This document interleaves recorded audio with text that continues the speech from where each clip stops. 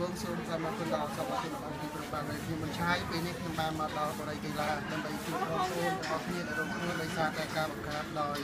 ពីសំណាក់បាទទាហានបលីរបស់លោកហ៊ុនសែនបាទឥឡូវខ្ញុំបានថាការមកដល់ហើយហើយសកម្មការនេះគឺយើងទទួលបានសពរបស់ជននៅប្រទេសអូស្ត្រាលីបាទគឺនៅអាដាលេដបាទនៅអាដាលេដហើយសពរបស់ជនមានឈ្មោះដូចតទៅទី1បងស្រីសុផលបាទបងស្រីសុផលនិងបងប្រុសមួន បាទឧបត្ថម្ភចំនួន200ដុល្លារអូស្ត្រាលីបាទហើយបងធីណារតធីណារតឧបត្ថម្ភ100ដុល្លារអូស្ត្រាលីបាទអ៊ំម៉ៅមេនបាទអ៊ំម៉ៅមេននេះគាត់នៅញូហ្សេឡង់បាទគាត់អ៊ំម៉ៅមេននេះគាត់ឧបត្ថម្ភចំនួន300ដុល្លារញូហ្សេឡង់តទៀតនងអានសាំបូនងអានសាំបូនេះគឺជនជាតិថៃទេគាត់ចូលរួមឧបត្ថម្ភ50ដុល្លារអូស្ត្រាលីតទៀតអ៊ំមេន បាទអប្រុសឆោគាត់ជួយឧបត្ថម្ភ50ដុល្លារអូស្ត្រាលីតទៀតបងស្រីជីណាបាទបងស្រីជីណានេះគឺជំនាញ ACP បាទគាត់អេស៊ីគាត់ឧបត្ថម្ភ50ដុល្លារអូស្ត្រាលីតទៀតលោករស្មីសានបាទហៅលោកអូនអានឧបត្ថម្ភ30ដុល្លារបាទតទៀតគឺបងស្រីសនៅអាដាលេដបាទបងស្រីសគឺអ្នកអាដាលេដហើយបន្តទៅទៅជាអ្នកប្រមូលថវិកាសម្រាប់សម្រាប់ជំនាញក៏បន្ថែម 50ដុល្លារអូស្ត្រាលីតទៀត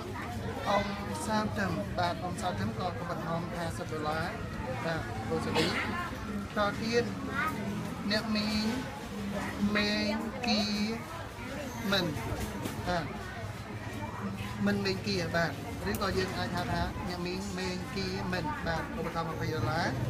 ចទៀតលោកពូសុនឡសុនឡក៏ឧបត្ថម្ភ50ដុល្លារផងដែរ បាទអញ្ចឹងថាវិការដែលយើងធ្វើបាននេះគឺយើងឧបត្ថម្ភមិនសម្រាប់តែបរិយាកាឡាទាំងអស់ទេគឺឧបត្ថម្ភទៅដល់ការពលាផងបាទក្មេងៗមួយចំនួនផងហើយសល់ប្រមាណគឺយើងឧបត្ថម្ភទៅដល់បងប្អូនទាំងអស់គ្នាដែលគ្រប់បាទអញ្ចឹងសរុបសេចក្តីទៅគឺបងបងដែលនៅបរិយាកាឡានេះគឺម្នាក់ទទួលបានម្នាក់70ដុល្លារអូខេអញ្ចឹងខ្ញុំសូមចែកដូចតាមទៅអូខេអញ្ចឹងដោយសារខាងនេះឡាយឡាយគឺហើយខ្ញុំ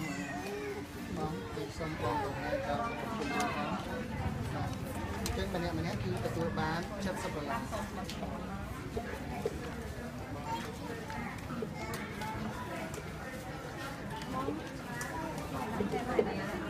អូបងនេះវាយបែកកែនោះបងគឺដំបូងណាអូខេចុងក្រោយលោកពូបាទអូខេហើយលោកពូសូមឲ្យលោកពូអឺ ថ្លែងអំណរគុណសម្រាប់ជនយើងដែលនៅអាដាលេដជាពិសេសខាងក្រុមគ្រួសារសីសណា OK បាទជាបឋមខ្ញុំសូមថ្លែងអំណរគុណដល់សពរដ្ឋជនទាំងអស់ដែលមានចិត្តសទ្ធាចេតនាជួយឧបត្ថម្ភដល់ប្រជាពលរដ្ឋសហគមន៍ខ្ញុំដែលរងរបួសដោយសារអាជ្ញាធរហើយជាពិសេស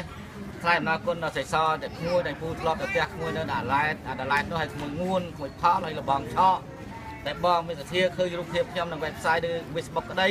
តែឃើញរឿងពិតនេះហើយឥឡូវខ្ញុំពុំទាន់បានផ្ទះទេខ្ញុំកំពុងទៅរស់នៅក្រោមកម្មចន្ទាអគារទី7ថ្ងៃនេះមានបញ្ហាច្រើនវេទនាណាស់ពួកយើងទាំងអស់គ្នាមិនមែនចំពោះតែរូបខ្ញុំទេបងប្អូនទាំងអស់សិតតែអ្នករងគ្រោះ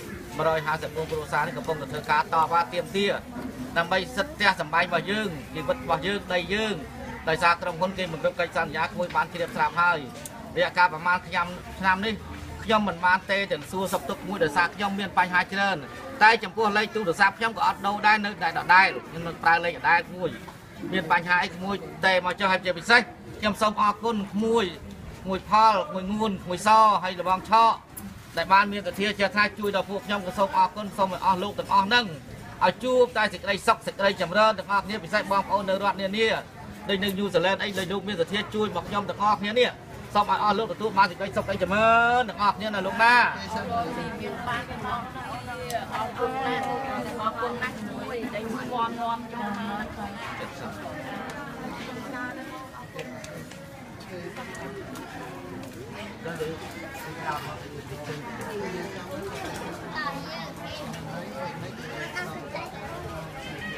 បាទបាទបាទ